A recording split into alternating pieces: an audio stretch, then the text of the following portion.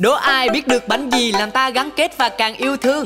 Làm cho ta tràn năng lượng và thêm dinh dưỡng mỗi khi ăn vào. Ê, gợi ý là bánh có năm vị. Năm vị. Bánh có hình vòng ngon mê ly.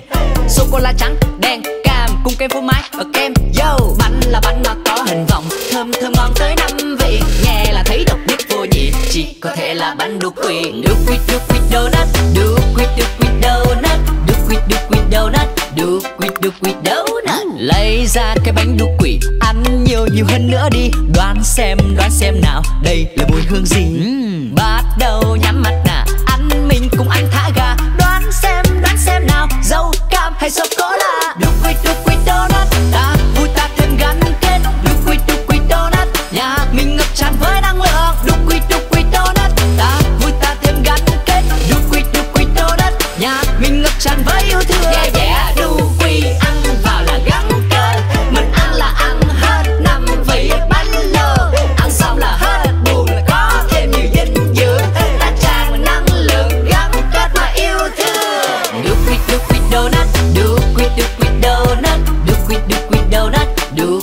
We know